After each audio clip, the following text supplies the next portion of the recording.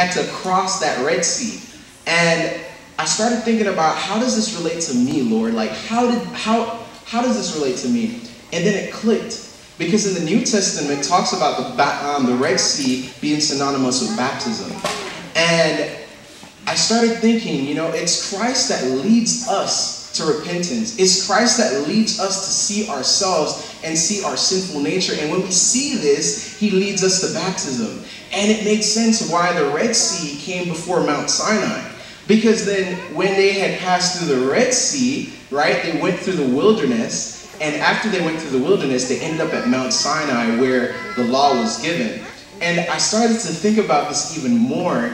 And then I saw the huge parallel. You know, a lot of times us as Adventists, or even us as Christians, we want people to be perfect. We want people to, to be to a certain level before baptism.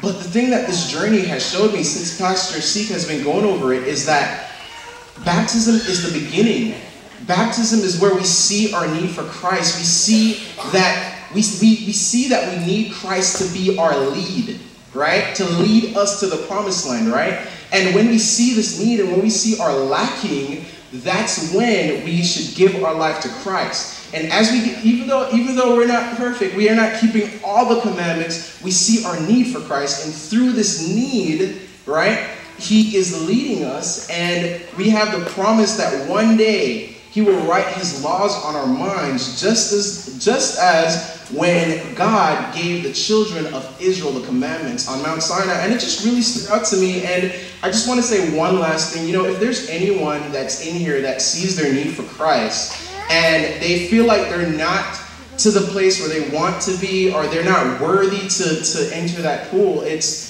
if you see your need for Christ, that is where the step, the step begins. It's the beginning of the journey.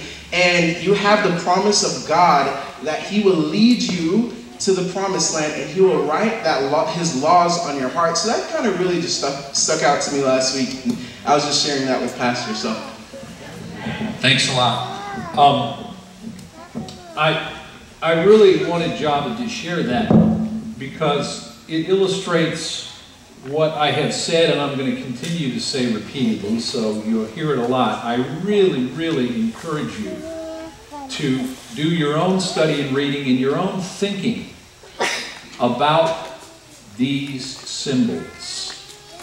Because God will work out in your individual experience what is significant for you. And that was something that was significant for Javed, and it struck him. And I believe that's the work of the Holy Spirit speaking to your heart to say, hey, here's something that is meaningful to me in my experience. So I encourage you with the utmost amount of energy in every pore and soul and fiber and whatever other anatomy term I can come up with to, to have you examine and think about these elements of the sanctuary and of those seven areas of increasing holiness and allow the Lord to do something very unique in your own experience. It's unique to you. That's why I wanted to share. So I encourage each one of you to really make this thing personal. Let's bow our heads for prayer before we get into our, uh, our lesson today. Heavenly Father, thank you so much for taking these lessons and illustrations and symbols and making them real in our own lives. Help us to understand the significance and the learning lessons of the veil, the curtain. Lord, we trust that your Spirit will teach each one of us what each one of us specifically needs because we want to know you in an individual, personal, and real way. We ask because of Jesus. Amen. All right, first I want you to turn to Exodus chapter 38. Exodus chapter 38. Okay? Exodus chapter 38. And as you're going to Exodus chapter 38, we're going to look at, at verse 18. I want to just go back and kind of walk you through a little bit. We have looked at these seven areas Egypt, the wilderness, and then the encampment, and then that sacred hollow square. But I want you to think about what it would have been like for an Israelite as they have come out of Egypt, they have encountered God in a powerful way in the, in the solitude of the wilderness. God has given them His laws, His instruction. He has formed them and given them instruction for their daily life. But as they go about their life, they find that just as Dwayne illustrated earlier, when he asked the question, we're only 16 days into the new year. How many of you have not sinned yet in those first 16 days? And we all chuckle. But it illustrates exactly what I want you to think about as you think about the Israelite. He's in the encampment, he's in his daily life, He's gotten his instruction from the Lord, and now he's made a huge boo boo. He's messed up. What does he do about it? And so he takes his sacrifice and he begins to journey across that open, clean area, that hollow square, as he's headed towards the courtyard. And he also has to realize that other people are looking and wondering, right?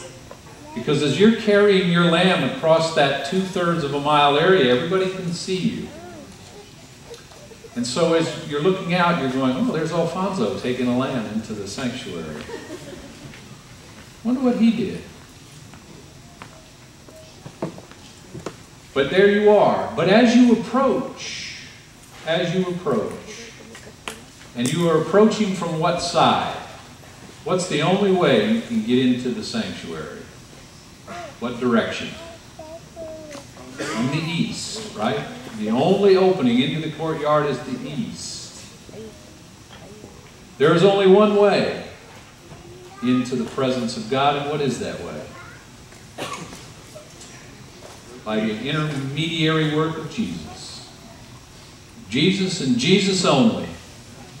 But as you get close to that, that entryway, there is a curtain or a veil that goes around, that encloses the courtyard. And let's take a look in Exodus 38, verse 18. It says, The screen of the gate of the court was woven of blue, purple, and scarlet thread, and a fine woven linen. The length was 20 cubits, and the height along its width was 5 cubits, corresponding to the hangings of the court. So we see that this tapestry, which was of fine linen, white, it also had blue, and what are the two colors? Purple, and what? Scarlet. There were also gold threads that were woven into that veil. And Along sections of that veil were woven in the images of angels on that veil. Now, we can just ignore all that and just jump right into the courtyard and take care of business and get out to get back to the rest of our day. Or we can take a moment to ponder what Jesus was trying to tell us by the construction of that veil. I want you to go to Hebrews chapter 10. It was our scripture reading, but we're going to look at it again. Hebrews chapter 10, because this helps us to understand what God was trying to tell his people. Hebrews 10, verses 19 and 20.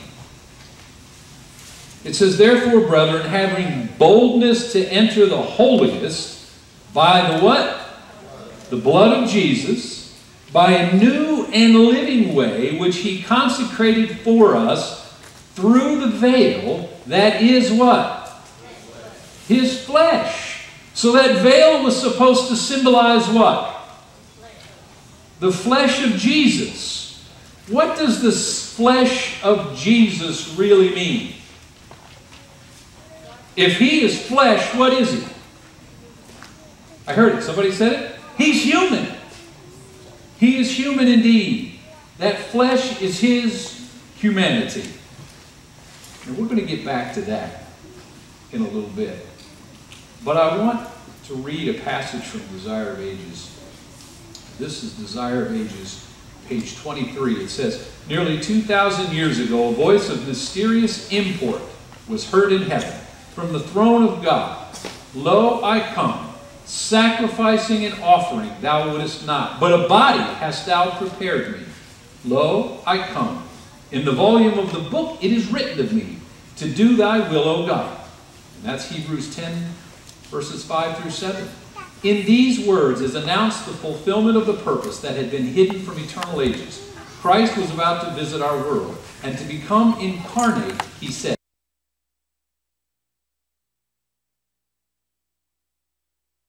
That was his with the Father before the world was, we could not have endured the light of his presence, that we might behold it and not be destroyed. The manifestation of his glory was shrouded. His divinity was veiled with humanity, the invisible glory in the visible human form. So Jesus came as a human being, but he veiled his divinity, the glory of his divinity, in humanity. So his, his flesh served as the veil. That thing which would tone down the glory of his divinity so that he could be in the presence of humanity. Now, there's something interesting about the flesh of Christ. I want us to just briefly take a look at it. It's in Isaiah 53. Take your Bible and turn to Isaiah 53. There aren't many chapters in the Bible any more meaningful than Isaiah 53. Isaiah 53 and verse 2. It says in verse 2 For he shall grow up before him as a tender plant and as a root out of dry ground. He has no form or beauty, and when we see him, there is no beauty that we should desire. So, what was the physical appearance of Jesus like?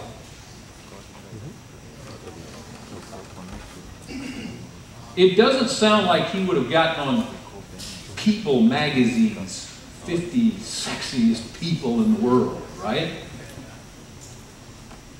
Probably not. It says that he had a very plain appearance. There was nothing about his appearance that would make you go, wow, hey, this is awesome. I want to go be near this guy. It all came through his character. But this was his veil. Now, I want to go back to the veil of the sanctuary. And let's just consider the symbolism that is there and what it tells us about Christ and our connection to Him.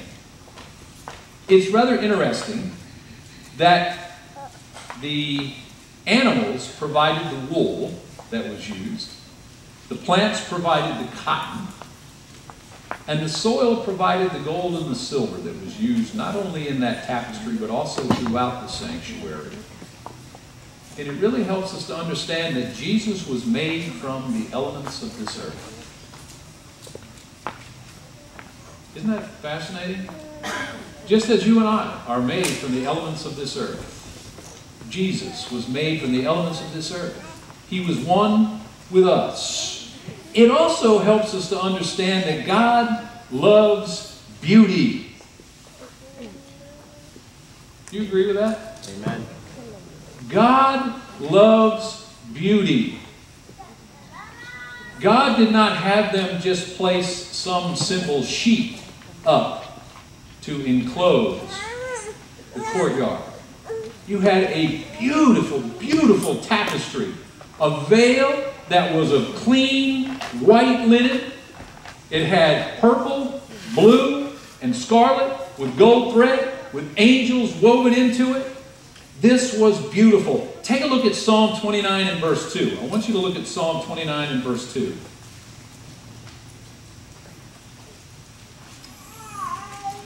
Here's what David says in developing these songs.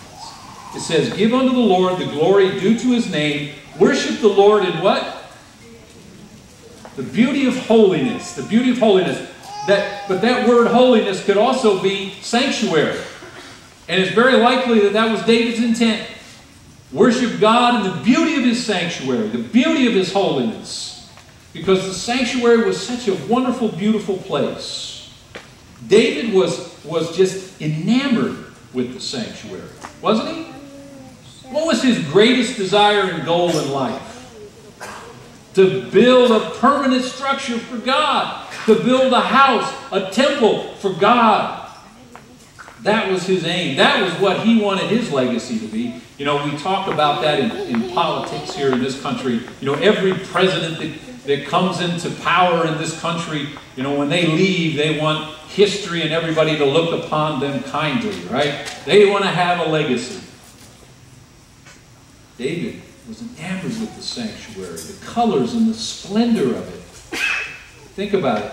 The sounds, the sounds of the Levite musicians that performed there, the smell of the incense, and the smell of those fresh loaves of bread that were in the holy place. So the sanctuary was a place that would appeal to all of your senses sight, hearing, smell, I want you to turn to Psalm 22 and verse 3. Psalm 22, verse 3. It says, But you are holy. Now, who's the you? That's God. But God, you are holy, enthroned in the what? In the praises of Israel. You see, this was God's house. And God's house was designed and structured so that when you came to it, Every one of your senses was enraptured, ennobled, drawn up to the, to the majesty of God. So that your heart just wanted to cry out in praise. Kind of like the song, Jennifer. Why should we be discouraged, right? So the, the sanctuary was set up and designed to appeal to our senses so that when we saw the sanctuary, there was no sense of discouragement. Designed to fill us with the beauty and the holiness of God. I want to read here a passage from this is from Patriarchs and Prophets, page 349. It says, No language can describe the glory of the scene presented within the sanctuary, the gold plated walls reflecting the light from the golden candlestick, the brilliant hues of the richly embroidered curtains with their shining angels the table, and the altar of incense glittering with gold. Beyond the second veil, the sacred ark with its mystic cherubim, and above it the holy Shekinah, the visible manifestation of Jehovah's presence, all but a dim reflection of the glories of the temple of God in heaven, the great center of the work for man's redemption. So, a part of our growth in redemption is learning to praise and glorify God. God wanted us to be filled every sense of our body with the beauty of His presence. Now let's just take a look at some of the colors there and what they symbolize as you're approaching this. Now let me also say that, that this, this gate or this veil here, that, uh, this, as you approach the sanctuary, you know it did not block out everything that was happening inside. So you could actually see through it. And now when you get something that's kind of opaque like that, have you ever, have you ever had uh, something that is, uh, the mesh of the, the material is large enough that you can see through it? It does block some of your vision, but you can see through it. Now, how does that work? The closer you get to it, can you see more or less of what is going on on the other side? More, right? When you get further away from it, those openings in the mesh kind of are smaller, you can't seem to see, but the closer you get, the more you see through, and the more inviting it becomes. Jesus, I believe, is there is telling us, when you get to me, the more you will see through to the glory of my character. The more you will see and the more you will be drawn. The more your senses will be filled the closer you come to me in that, in that beautiful tapestry that's set off the courtyard. Now, blue. What does blue mean? Blue comes from, so the sky is blue, right? The oceans are blue. We also use the term blue to illustrate a particular character trait, right? He is true blue. True blue. What does that mean? Loyal. You're solid, you're loyal, right? Blue is a sense of loyalty. It also, as I heard somebody represent or say, represents the law, right? It represents the law and loyalty and fidelity. So that blue is there to help remind people of God's law and His faithfulness and His loyalty. And then the scarlet, what does that represent? I heard it, somebody said. It's the color of what? Blood. What does blood have to do with the sanctuary and with man's redemption? We know, right? That sacrifice. The sacrifice had to shed its blood. Without the shedding of blood, there is no forgiveness or remission of sin. So you have the reminder that our sins require the death of the Son of God Himself. And the purple. What is the purple? Pardon? The blending of the two, right? How do you get purple? Take the blue and the scarlet, the blue and the red, when, when they are mixed, you get purple. And so here we see in the purple the fact that God Himself must suffer when we break His law. When we break the law of God, Jesus hurts. Jesus hurts. Also, in that blood, redness of that blood, we realize that the breaking of God's law interrupts and damages the flow of life. You follow me? Blood. Blood must be shed. Blood must be spilled because of sin. And even today, you, you realize we don't think about that because we don't have to go through this ritual, which I'm glad we don't, aren't you? Oh, I'm glad that we don't have to have a bunch of sheep up here slaughtered today. And I'm glad that I don't have to go through the ritual of dealing with that blood and catching it and sprinkling it and all the rest. But I think we need to remember, and that veil helps us to remember with that purple color, that when we commit sin, it damages and disrupts the flow of life because that's what blood is. Blood is the flow of life. That purple color. Here is, I think, a neat description of what that purple does. This is from the book With Jesus in His Sanctuary from page 85. It says, People, Purple reminds us of the blue of His heavenly nature, saddened by the crimson of His broken heart, of divinity burdened with humanity, yet triumphing in the Prince who became our priest. Isn't that beautiful? I thought that was really beautiful in describing the purple. Now I want you to go to Hebrews. I want you to go to Hebrews because this veil, this tapestry, the beauty of this tapestry, which helps to draw our minds to Christ, helps us to get a picture of Christ that Hebrews describes outright. It's illustrated in symbolic form in the, in the veil of the sanctuary, the curtain of the sanctuary, but Hebrews explains it. And here it is Hebrews chapter 2 and verses 16 and 17. Hebrews chapter 2. It says, For indeed he does not give aid to angels, but he does give aid to the seed of Abraham. Therefore, in all things, he had to be made like his brethren, that he might be a merciful and faithful high priest in things pertaining to God, to make propitiation for the sins of the people. But I want to go back to the beginning of 17. Therefore, in all things, he had to be made like his brethren. What does that mean to you? Help me out. I want you to think a little bit. What does that mean to you? That in all things, Jesus had to be made like his brother. First off, who's his brother? Us. What does it mean that he was made in all ways like us? He was flesh and blood. We've seen that in some of the symbolism here, right? We looked at the symbolism of all this stuff. And it says that Jesus was made of the same substance of the earth, just as we are. But he was made like us. What does that mean? Give me some descriptions of what that means to you when it says Jesus was made in all ways like us. To be tempted? Okay, we're going to read that too as well because we need that balance. Because if, if we get unbalanced with this, we could say, well, Jesus was sinful like me, right? No.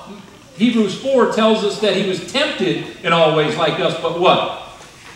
Without sin. But I want you to think about that. How, what does that mean to you? Jesus was made in all ways like you. Okay, he understands us. That helps him to understand. What else did you no advantage? Okay, no advantage. He doesn't. Does that mean then that we can live without committing sin? Wow, I think it does. What else? What else to you does it? We can have victory over sin, right? But what else does that mean to you? He was made in all ways. And I'm curious, I'm not looking for anything in particular when I ask this. I'm, I'm just wanting to hear from you, to hear how the Spirit's working in your heart, how that, how that grabs you in your individual experience.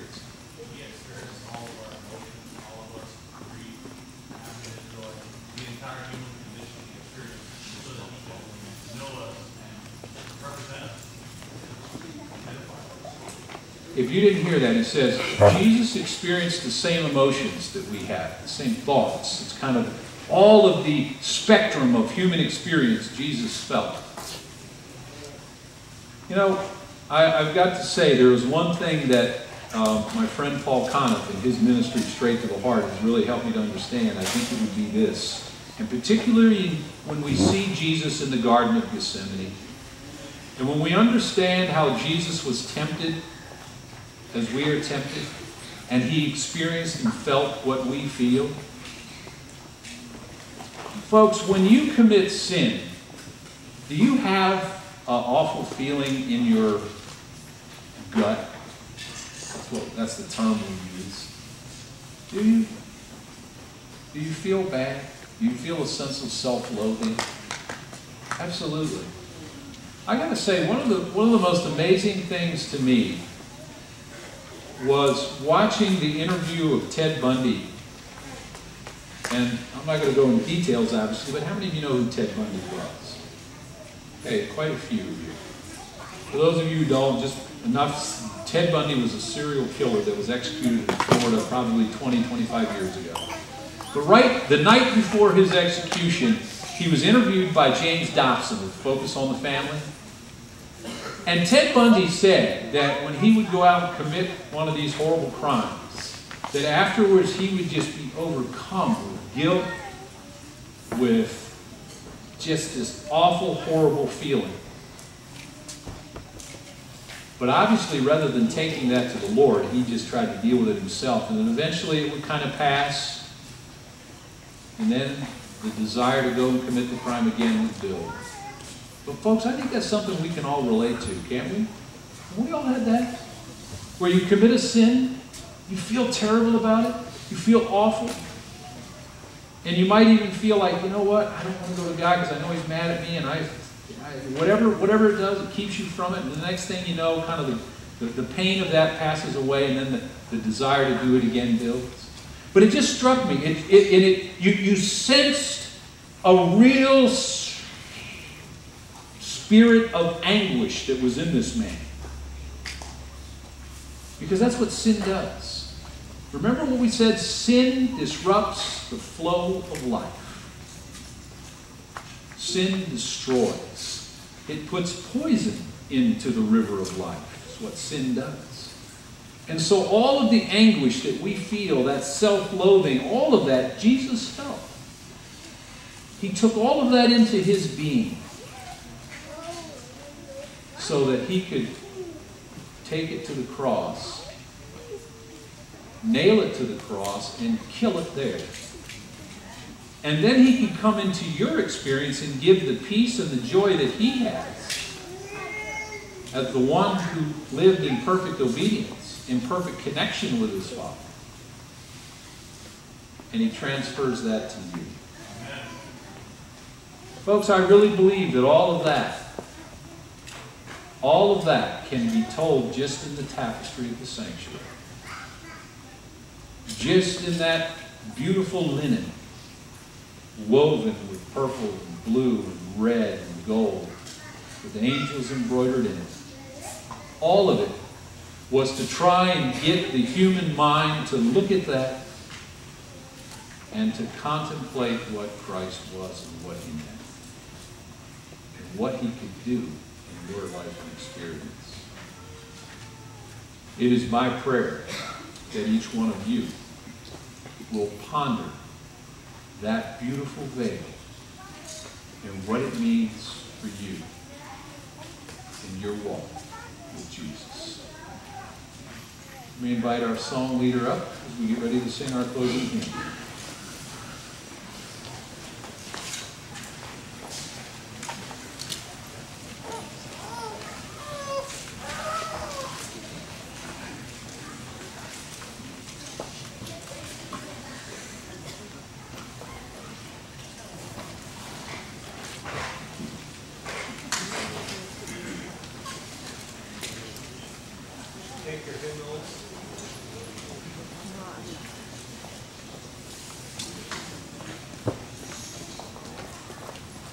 Take your hymnals.